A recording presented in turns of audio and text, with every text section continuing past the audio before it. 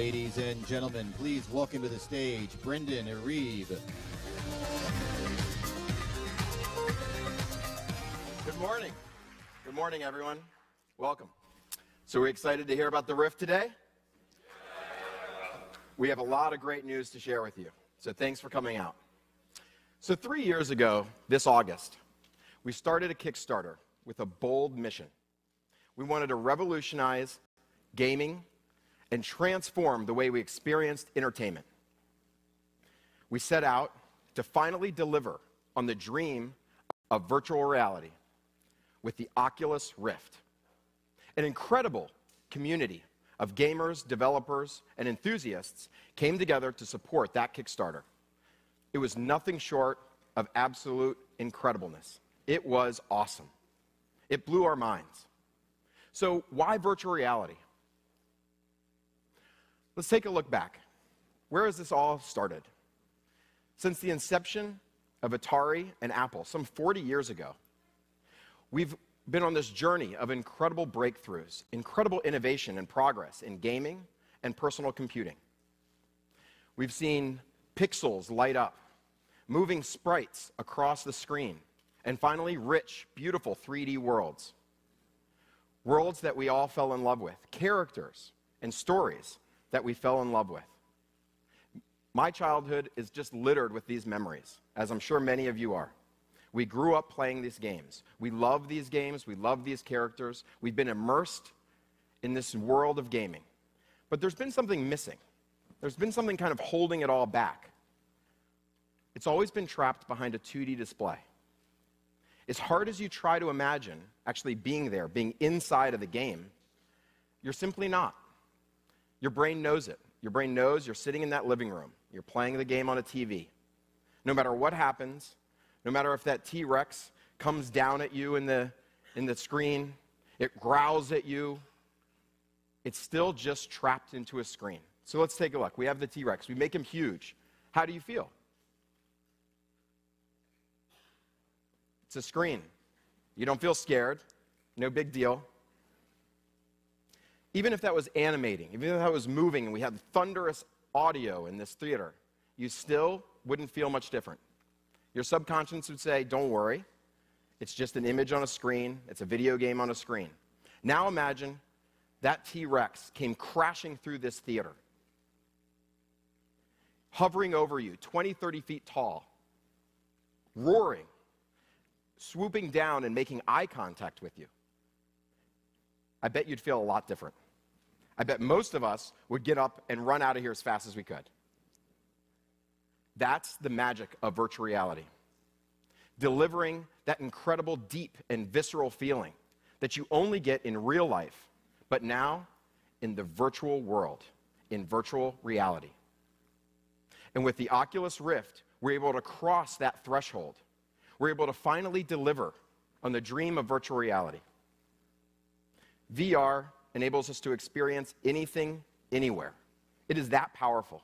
You'll be able to slip on a pair of Oculus goggles and you'll be able to teleport to different worlds. For the first time, we will finally be inside of the game. This is going to change everything. Gamers have been dreaming of this. We've all been dreaming about this for decades, and it is finally here. This is the beginning of VR gaming. Today, I'm excited to show you the Oculus Rift.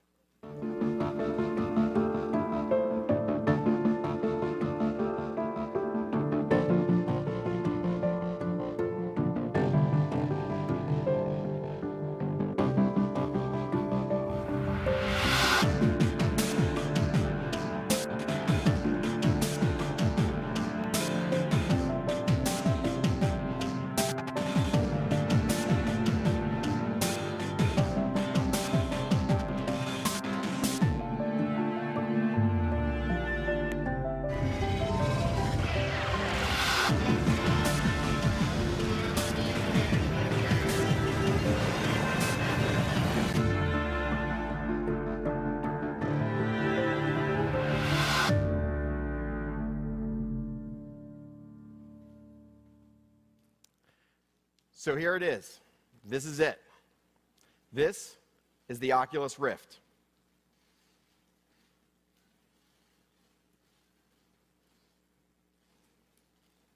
It's light, you can hold it with one hand. With this device, you're going to finally be able to teleport to new worlds. You're going to be immersed in games. You're going to experience games as you've always dreamed of experiencing them. This Oculus Rift is going to deliver the magic of presence, the feeling of actually being there, really truly believing that you're there. Your brain flips this switch.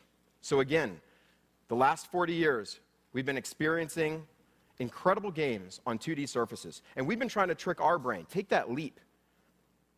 And now, in virtual reality, in the Oculus Rift, you're going to find yourself reminding your brain that this is not real. You're going to be doing the opposite. You're going to try to convince yourself, don't worry, that dinosaur hovering over me, it's not actually real. It is a fundamental shift, it's a paradigm change, and it all begins now. So, to pull this off, we had to have a really tight integration of hardware and software. It took years of development to get this right. It took an amazing team, one of the best teams ever assembled. Let's take a closer look at the Rift headset. We've designed a custom display and optic system that, that enables us to achieve comfortable presence. It features two OLED screens that deliver low persistence. So as you look around, there's no motion blur, there's no judder, there's no pixels. You're really there. You can focus on virtual objects. It feels like you just put on a pair of glasses. Maybe not quite as high resolution as you one day want, but this is the beginning, and it really delivers that magic of presence. That visual clarity is incredibly important, and the Rift delivers it. It also features a wide field of view so that you really feel immersed, and a new constellation tracking system. With this tracking system, you have very precise, low latency movement. We've refined this over years. It's amazing. You put it on, and you feel like you're there. You're instantly teleported. Now, this same tracking system can actually be used for other real world objects. We'll get to that in a little bit later. So, back to the sensor. There's an external sensor that you put on your desk. It's simple and reserved. It's invisible once you put it down on your desk. You plug it into the back of your computer and you're all set. That's it. It just disappears. We wanted it to be incredibly simple and easy to use. Developers are going to be able to create all kinds of revolutionary experiences. Some seated, some standing. You'll be able to move around a little bit. This enables the future of virtual reality. The Rift's tracking system is precise, low latency, and you got that head movement so you really feel like you're there. But the Rift doesn't just trick your eyes, it also tricks your ears. This was a really important part to achieving that level of presence, to believing you're there. It couldn't just be visual, it also had to be audio. You had to hear the sound effect happening right where you thought you saw it, and you can turn and look. You had to get that audio cue. Getting audio right is a critical component to achieving presence. And the Rift features an integrated audio system that we've, again, refined. We're incredibly proud of this. So let's take a look at T Rex again. Imagine he's coming down this hallway. You hear him off into the distance. It needs to sound like he's off in the distance. As you turn and look and you feel the rumbling of him coming down the hallway, all that audio must be spatialized. It must be 360. It must match the visual cues. And that's what the VR audio system is all about. And the Oculus Rift delivers it. Now, as proud as we are about these integrated headphones, and we think you're all going to want to use them, we know that some people want to bring their own headphones. So we've made them really easy to take right off. They're removable. Something else you'll notice right away, right when you get that Rift, right in your hand. It's really lightweight, it's comfortable. You can slip it right on.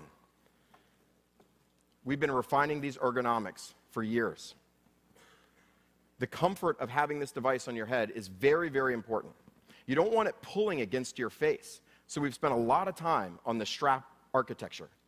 We've made it so that it, as tight as it is, so that it doesn't move around, it's not actually pulling against your face. So you can really be in there for a while enjoying the experience. Again, the goal is you put it on and it goes away, it disappears. We've dramatically improved the balance as well so that it feels very lightweight. When you put it on and you look around, you don't have this kind of device hanging out over your head. It just disappears and rests comfortably right on your brow. You're going to put it on like a baseball cap. You're going to toss it right on. It's going to be simple and easy. Now, one thing we noticed along the way is that everybody has a different distance between their eyes, just a little difference. So we've added a nice, convenient dial that allows you to adjust the lens distance. So you can get those lenses right in the center of your eye. It's, it's incredibly important. This allows you to achieve, again, that extra level of comfort and presence. For instance, my distance is actually 64 millimeters. Palmer, on the other hand, is 72. He's got to adjust it. Everybody's a little different. You'll put it on, you'll move the dial, and you'll be right there. You'll be in. So we've created the facial interface so that it's removable, so that it's really easy to replace. That was also something that we learned over the years. And we've evolved the form factor to better accommodate glasses, something many of us have including myself. Finally, the headset is all wrapped in fabric. It feels incredible to hold and to wear. We really wanted to make this a beautiful product. I can't wait for you guys to get your hands on it. So that's a brief overview of the Rift, the headset. We've talked about the custom display and optics to achieve presence, the wide field of view, the constellation tracking system for precise, low latency head movement, as well as the 360 spatialized audio, the integrated headphones, and the advanced, refined ergonomics so that it feels really comfortable, really lightweight, right on your head.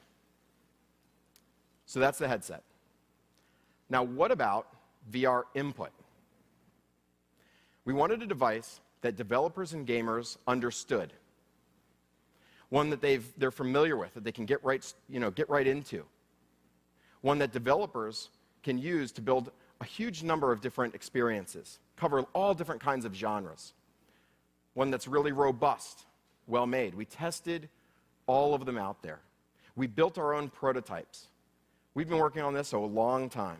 And one of the things that we determined along the way is that including a gamepad in this generation of the Rift is really important. That that was the right move for game developers and gamers around the world. For many of us, a gamepad is an extension of who we are. It's something we've used for years, since we were kids. I mean, these have decades of refinement in them. So today, I'm incredibly excited to announce that we're going to include a wireless Xbox One controller and adapter in the Oculus Rift.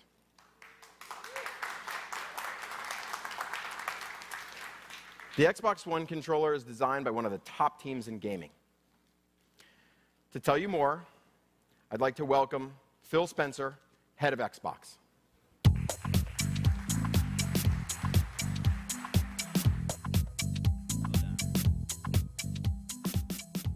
Hello, everyone. I'm Phil Spencer, head of Xbox, and I'm excited to be here to announce a partnership between Microsoft and a leader in virtual reality, Oculus. The opportunity for us to bring our wireless controller, the one that we've spent so many years refining, to every Oculus user at launch is incredibly exciting for us and we think unlocks the potential for game developers everywhere. At Microsoft, we're incredibly focused on making Windows a great operating system for gamers. And with Windows 10 partnering with Oculus to make it the very best operating system for Oculus Rift, we believe we will unlock the potential for millions of developers everywhere to create incredible virtual reality experiences. The Rift will natively work with Windows 10 to make it easy to set up, jump in, and have incredible VR experiences from day one. And we all know that virtual reality experiences require the highest performance, frame rate, latency, and with DirectX 12, working with Oculus to ensure that those experiences are exactly the kind of experiences that you will expect and that gamers will expect, we believe we'll be able to create state of the art virtual reality experiences on the Oculus Rift on top of Windows. Another key area of focus for us that we talked about back in January was the ability to stream Xbox One games to Windows 10 devices. We think it was really important that we're able to bring the greatness of Xbox, Xbox Live, and all of the games that people have created to PCs and tablets everywhere. I'm really proud to announce that that same streaming capability will be available for Oculus Rift. People will be able to stream their Xbox One games, great Xbox, Xbox One games like Halo, Forza, Sunset Overdrive to the Oculus Rift using the controller that they know and love. Something we've spent a lot of time perfecting, and the ability to work with the team at Oculus to create a virtual cinema where Xbox One games will show up, I think really pays off the value of people's investment in their games and obviously their investment in Oculus. We have a short video where we can show you what this looks like. Let's take a look at that now.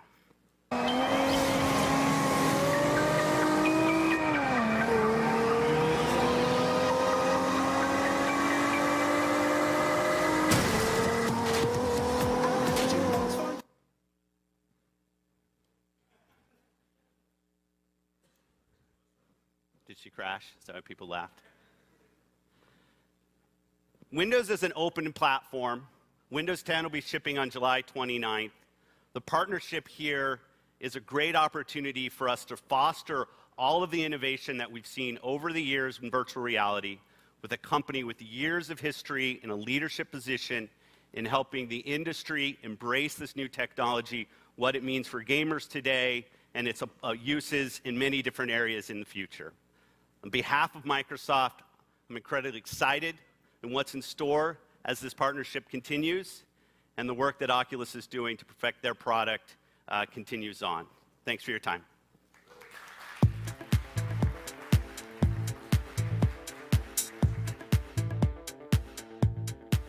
Thanks. So that was just a little peek inside of what we're doing with Microsoft. There's going to be a lot more to come. You can imagine putting on that headset, being in that virtual cinema, maybe in the future seeing your friends in there, seeing the other people you're playing, connecting with other people on Xbox One or PC. There's just so much potential of what we can do. And including the, uh, the Xbox One controller with the Oculus Rift is really exciting. It's, I'm just thrilled to have that device in there. It's a terrific controller, one of the best in the world. But input is going to continue to evolve, rapidly evolve. And we've been working on a lot of other things, which we'll get to in a bit. But a VR platform, this VR headset, the input, as it all comes together, really isn't worth that much unless there's incredible content. It's that content that really defines the experience. It's the content that makes you feel like you're there, enjoying these incredible worlds. I'm pleased to welcome Jason Rubin, head of Oculus Studios, to talk about some of these incredible experiences that you're going to enjoy at launch with the Rift.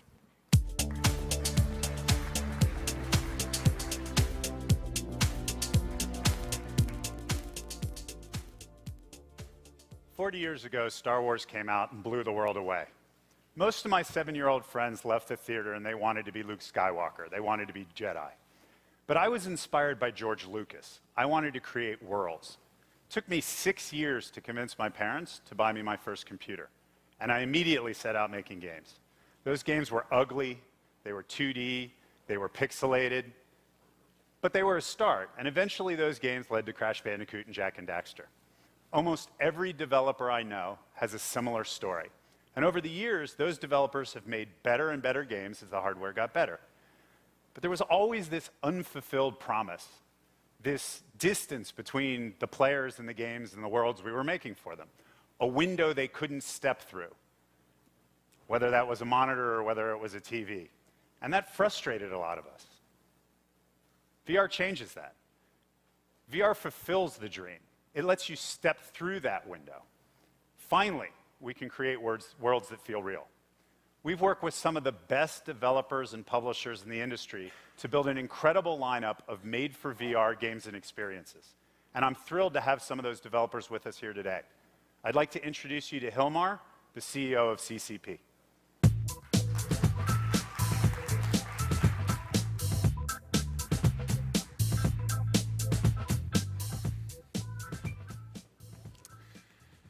It's great to be here and be a part of building the future of VR.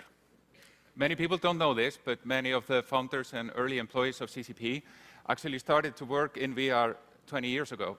It was called VRML at the time, and it didn't really involve a headset, but it was VR to us.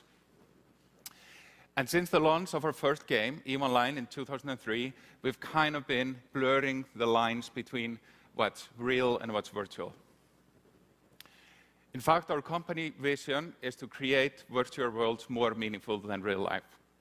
And that sounds kind of a ballsy, crazy ass statement, and we often kind of have turmoil within the company about it. But now, when we are truly seeing the dawn of virtual reality, I don't think we have to uh, make excuses for that statement as much anymore. And you'll, you'll really get a chance to understand what I mean if you go and play Eve Valkyrie uh, on the latest gear. Eve Valkyrie uh, is quite a Cinderella story for us. A small group of developers in Iceland were so inspired by the Oculus Rift Kickstarter back in 2012 uh, that they became backers themselves, and we, CCP, also became some of the early backers. And as soon as we got the kits, uh, they started trying. Uh, and the team that put this together, like many gamers, were raised on Star Wars, Battlestar Galactica, Firefly, and played games like Wing Commander and X-Wing Arcades and of course, EVE Online. So it's no surprise that the first thing they did when they got the DK1s was a tech demo for a space shooter. But was really the surprise was how much the concept of VR added to the experience, even back then with the original DK1. I remember it myself when I tried it for the first time in the CCP kitchen, where we had a little kind of show and tell. Um, you could kind of imagine what it would be but then when you could kind of figure out you had your head like a joystick and you can track down with missiles, and then you look down at your body, and the first reaction was, what, these are not the clothes I put on this morning. It was a super powerful moment. We knew we had something special, and when we show it to our biggest fan gathering, which happens in Iceland every year, back in 2013, the feedback was unanimous, please make this game. And so we did. And with the final Rift hardware, we can say with confidence that Eve Valkyrie is the closest thing you're going to get to being a real spaceship fighter pilot. What we built is the essence of space dogfighting. You get in a ship, launch, and flight. No manuals, no pre-flight checklist, just pure combat. And because Valkyrie is built from the ground up for VR, it shows, showcases everything that's great about VR. When you put on your Rift and jump into Valkyrie, you're immersed in a 360-degree cockpit experience. The sights and sound create a sense of immersion. We all want it in space shooters. And when you combine the immersion and presence of VR with multiplayer combat, you get something that feels so real, it's more than real. That's why we love VR. We can't wait for you to get your hands on it when it launches next year or next week at E3 uh, and see your reception. So huge thanks to the Oculus team and the community for all your support. I'm now going to leave you with our gameplay trailer.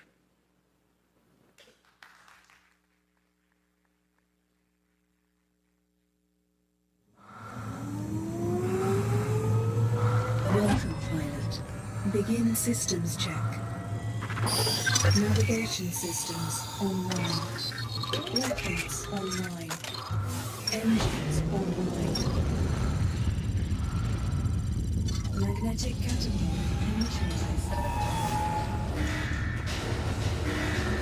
Hold on tight. We're ready to deploy. Launching in three, two, one.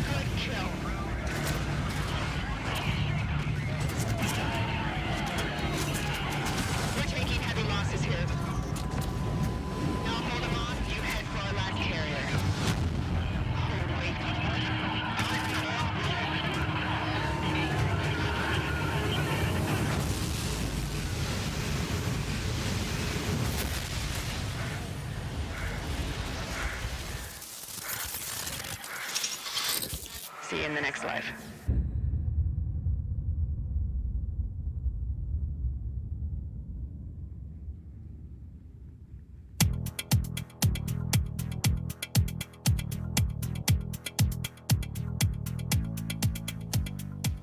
Hello, my name is David Adams, and I work at Gunfire Games. At Gunfire, we love crafting new worlds, so we were really excited by the opportunity to build a new world utilizing the power of virtual reality and Oculus.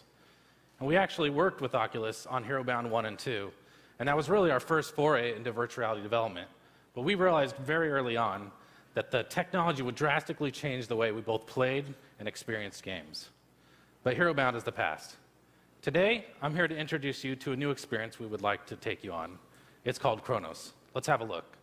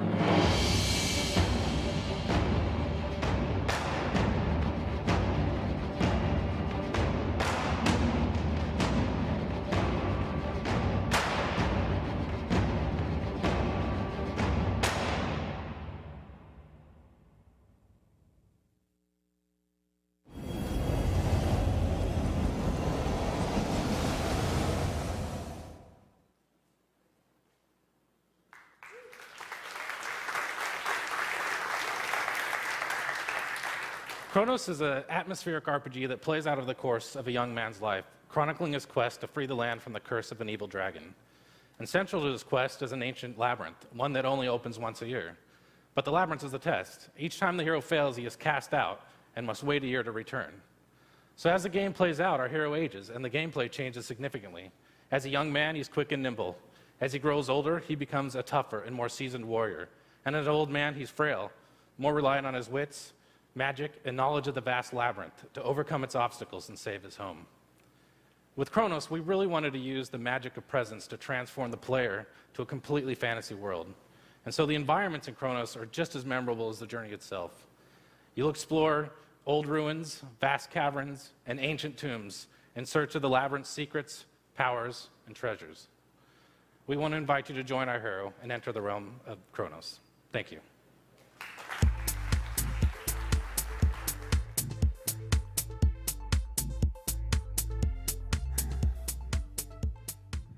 Thanks, David. I'm Ted Price from Insomniac Games. Edge of Nowhere is Insomniac's brand new third person action adventure exclusively for the Rift. Travel to the frigid reaches of the Antarctic in search of a missing expedition. As you venture deep into the unknown, you'll encounter a surreal world which will test you, it will twist you, and eventually it may break you. You're surrounded on all sides by the unexpected, and nothing is as it seems. Let's take a quick look at Edge of Nowhere. Victor, if you find this, let me go. Only madness lies ahead. You must believe me.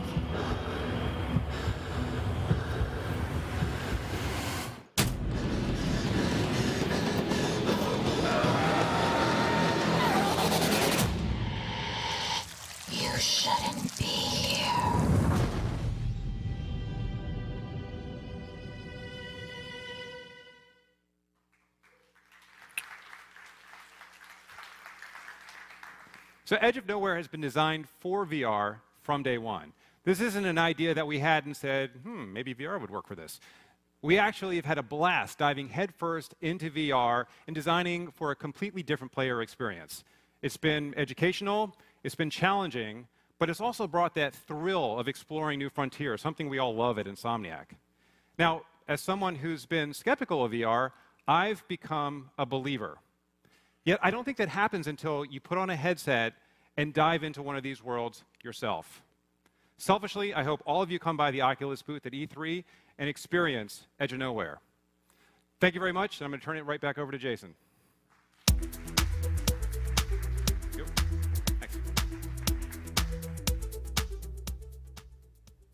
In addition to the games you just saw, we'll have more fantastic titles at E3. That list includes Damaged Core by High Voltage, a team that's done an incredible amount of work bringing the first person shooter into VR. VR Sports Challenge by Sanzaru, the football, baseball, basketball, and hockey simulator we all want and expect on the Rift. Esper from Coatsink, a game that gives you a taste of what it'd be like to have telekinetic powers. AirMech by Carbon, amped up for Rift. Is it an RTS or is it real life? And of course, Lucky's Tale from Playful, a game that most of you have already fallen in love with. All of these games will not only be at E3, they're going to be available on Rift next year. And each demonstrates an incredible amount of VR R&D that's been done by the teams involved. But this is only the beginning. We're partnering with a huge number of developers and publishers on games and experiences tailored specifically for the Rift. This is a partial list, and it's constantly growing. We're going to have more updates for you as we get closer and closer towards launch. 2016 is going to be an absolutely incredible year for gaming. So I'm going to leave you with a through the window, old school look at what's to come, but I implore you to come to E3 and step through the window for yourself. Thank you.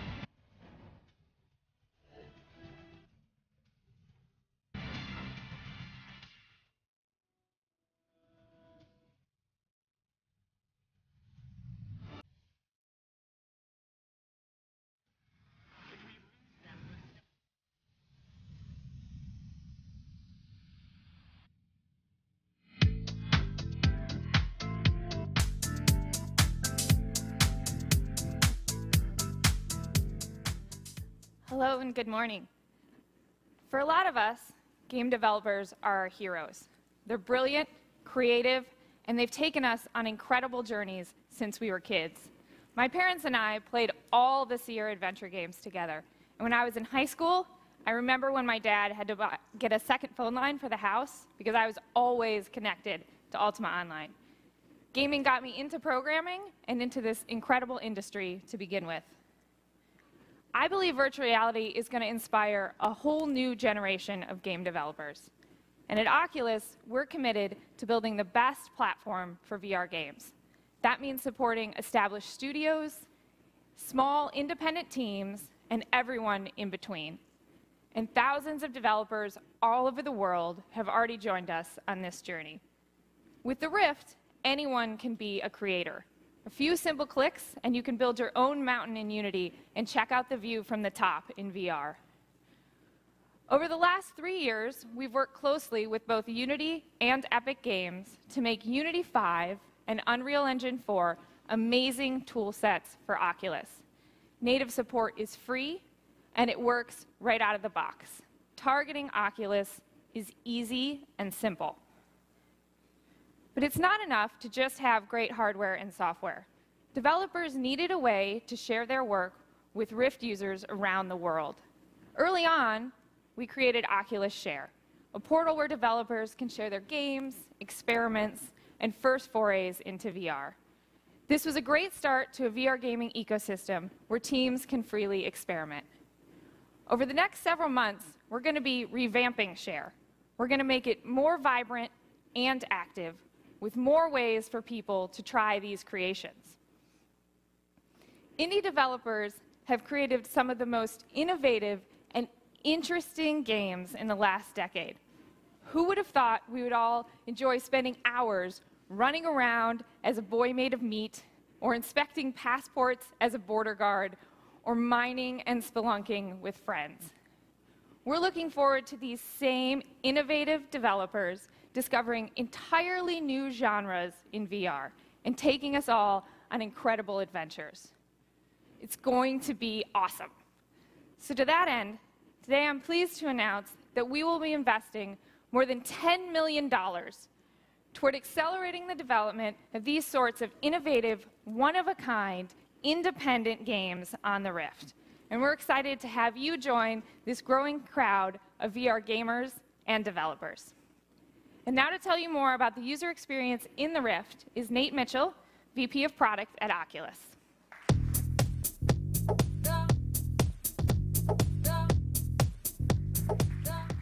Good morning, everyone. The Rift has always been about delivering the technology that unlocks true next generation gaming. We grow up daydreaming about really being there stepping inside our favorite game. But for the first time with the Rift, we can actually live that experience. We've designed the Rift software and user experience from top to bottom for gamers. On the Rift dev team, one of the top priorities is making sure that it's an absolutely seamless uh, experience to jump straight into VR. We've been working hard with Microsoft, NVIDIA, AMD, and a number of top PC manufacturers to make this a reality. The goal is that the Rift just works right out of the box. As part of this effort, we're developing new system software for the Rift that we call Oculus Home. We've built Oculus Home for VR first and foremost. Home is your portal to everything Oculus, and it brings all your Rift games together in one place. This makes it the perfect jumping off point for everything in the Oculus universe. We've designed it to be lightweight and efficient, putting as little between you and your games as possible. When you put on the Rift, you're going to drop straight into Oculus Home. We have a virtual environment that you'll land in. Here, I can check out my games library. Maybe I want to play something right now. Or maybe I want to check out some of the top games that others are playing. Let's say I'm interested in learning more about Chronos. You can't convey what a VR game will be like through a video or a screenshot. But because we're already here in virtual reality, we can put you straight into a VR preview of the game before you even buy it. You can actually look around the scene from the Chronos Labyrinth. We've got this uh, huge golem standing there with you. And I can buy Chronos right here from VR, and I'm ready to play. Home also lets you see what your friends uh, are doing in the Rift and what they're playing right now. We can see here that Palmer's actually causing some havoc in Eve Valkyrie. And I can join him directly from VR and dive straight into the fray without ever taking the Rift off. This is super important. We've also built a 2D interface for Oculus Home. You can browse the store, stay in touch with your friends, and manage your games and downloads without putting the headset on. So that's a preview of Oculus Home. We're going to be talking more about Home and all the other features of the Oculus platform at Connect 2 this September. From all of us on the Rift dev team, we're really excited to be gaming with you guys in VR next year. Thank you.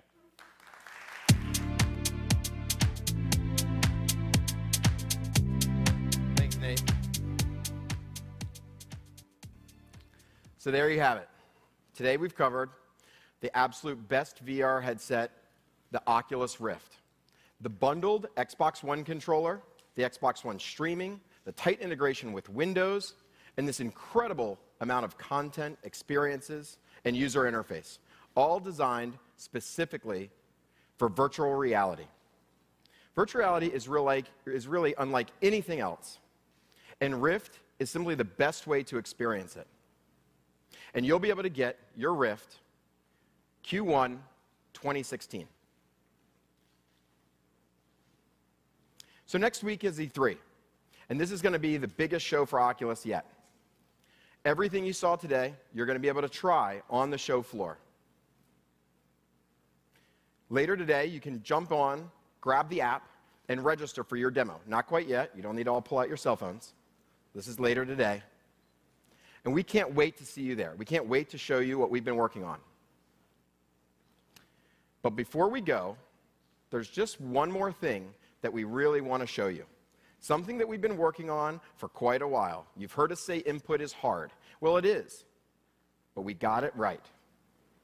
I'd like to welcome Palmer Luckey, close friend and colleague, to the stage.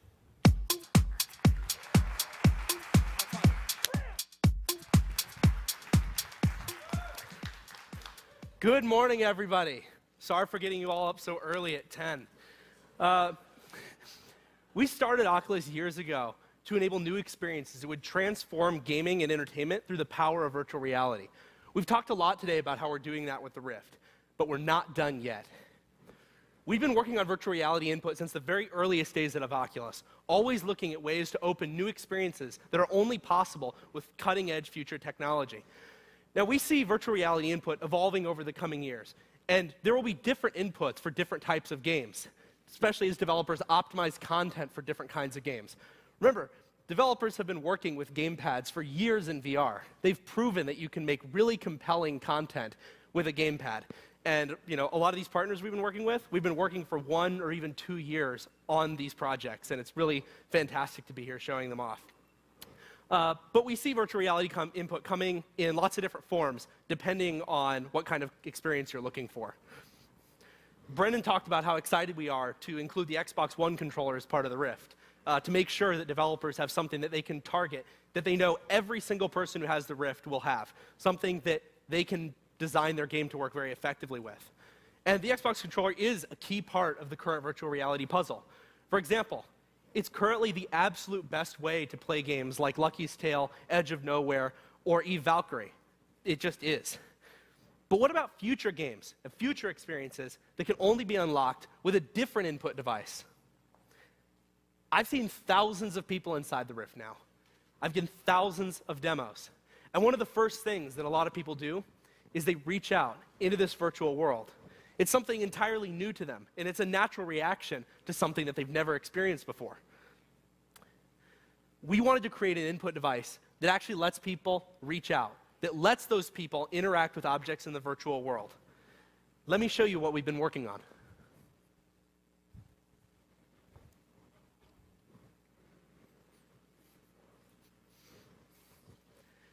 This is Oculus Touch.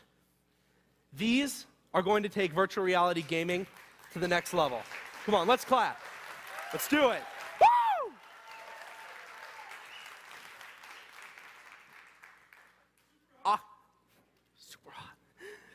Oculus Touch is a pair of track controllers that we've created to take VR to the next level.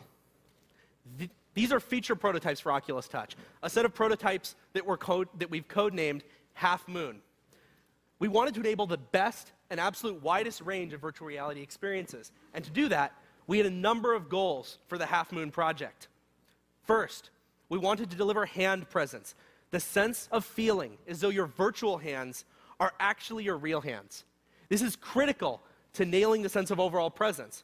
Once you have your hands involved, you really need tracking to be absolutely perfect, accurate, and low latency, or you're going to feel like your hands are dead.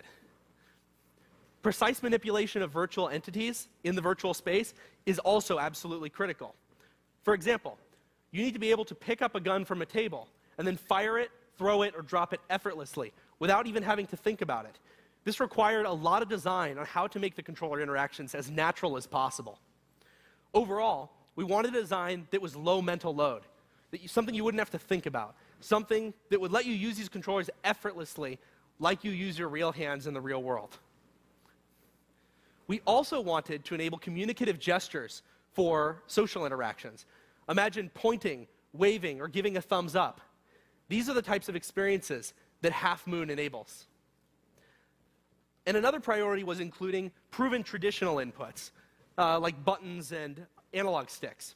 Uh, we want to enable a lot of different kinds of virtual reality experiences entirely new VR only experiences, genres of games that have been around for decades that are being brought into, v- into VR, and also hybrid experiences that incorporate the best of traditional input with the best of virtual reality input. Buttons and analog sticks are still around for a reason.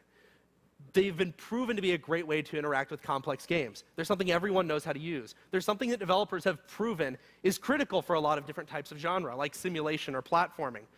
Those types of inputs are not going anywhere. Finally, Oculus Touch needed to be lightweight and ergonomic.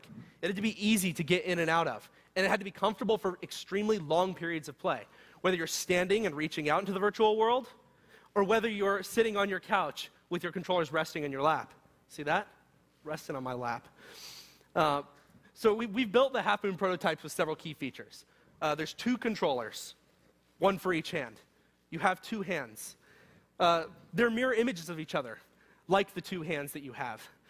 They're wireless, so that you can move and interact in the virtual world freely, unencumbered by cables. They have integrated high precision, low latency, six degree of freedom, track, six degree of freedom tracking, leveraging the same constellation tracking technology that we use in the Rift, along with integrated inertial measurement units. Now, each of these half moon controllers has a traditional analog thumbstick, two buttons, and an analog trigger. But they also have something else that we call the hand trigger. You can see the trigger right there under my middle finger.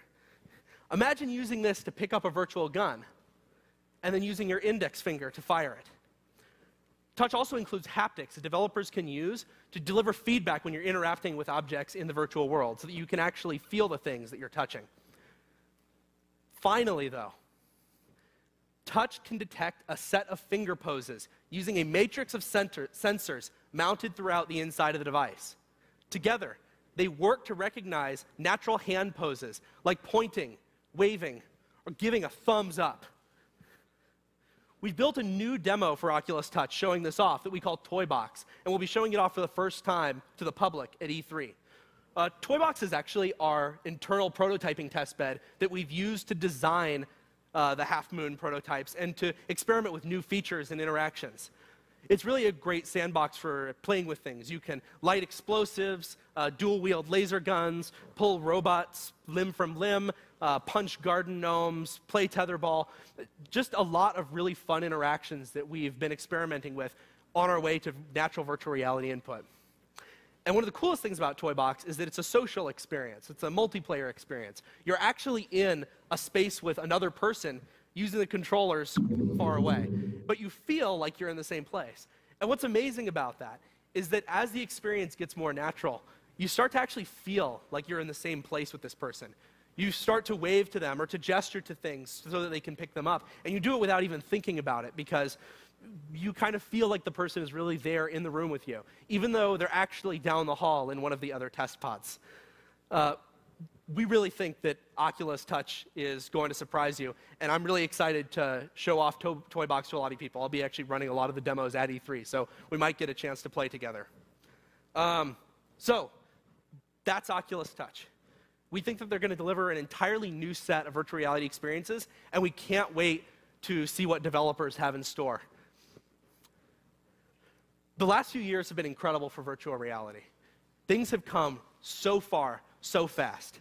If you were to show someone a video of this event today, or heck, even all the technology that's in the virtual reality industry across all these different companies, not just Oculus, if you took a video of that and showed it to someone three or four years ago, they would have thought that it looked like a science fiction film. It would have been a perfect cue. But this isn't science fiction. This is reality. And it's happening today. Thank you. I'll see all of you at E E3.